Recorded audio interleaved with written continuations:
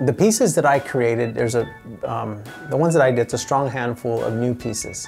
And so that's when I said, well, I'm gonna take, you know, these uh, ultralight panels and I purchased them and I started doing the artwork, but then I wanted to kind of have it like a, like a 3D and, uh, piece. So not necessarily sculpture, but it's something more tangible. However, the whole father and son, you know, with Champ, he's been around his entire life. Have two boys. Um, the Champ seemed to gravitate towards the art with great strength.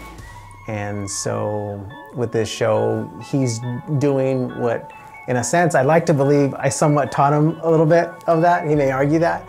Uh, he has a ton of graph uncles, but to have him, you know, uh, using the same vessel that I do, and he's trained in that, and so him to create his own pieces. And here's the thing, the kicker, I haven't seen his work yet. Yeah, I saw the big painting that he did, uh, but the other pieces I have not seen.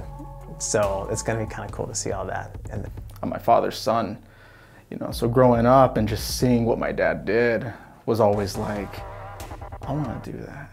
And so um, I would watch him paint and then I would also see like he had like these behind the scenes, you know, with like Walt Disney, you know, Chuck Jones, you know, Bob Clampett.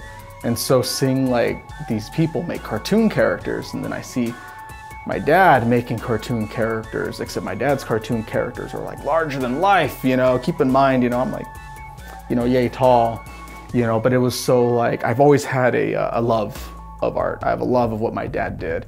I'm hoping that they'll take away an enjoyment. Um, I hope that's not shallow, you know, but the pieces that I created have a touch of whimsical, but yes, uh, but in, in the same, when I'm saying that, it also has that cultural, you know, sense to it as well. And so I'm hoping that that'll connect, uh, that from an elder to just a young child that can come in and look at the work and identify and appreciate that.